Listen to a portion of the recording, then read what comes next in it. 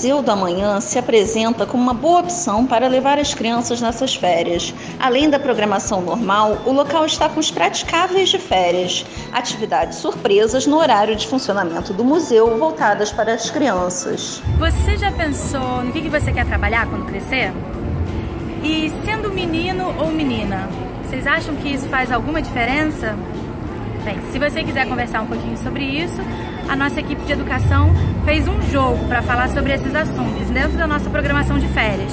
É um dos praticáveis de férias que acontece de terça a sábado, de duas às quatro. Mariana aceitou o convite e levou a pequena Luísa e seu amigo Matias para brincarem na exposição. A gente já tem costume das férias sempre conhecer museus eles estavam muito animados para vir no Museu da Manhã juntos.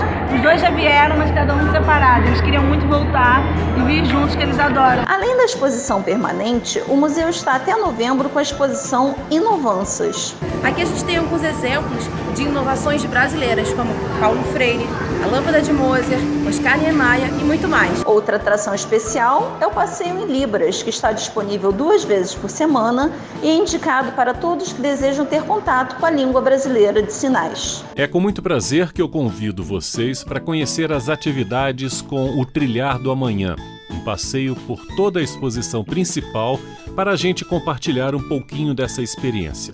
Pessoas que sabem Libras, pessoas que já têm contato com surdos ou têm curiosidade, aproveitem essa oportunidade de conhecer a nossa atividade. Vai ser bem legal e eu espero que vocês gostem. Venham! O Museu da Manhã está aberto de terça a domingo, das 10 às 18.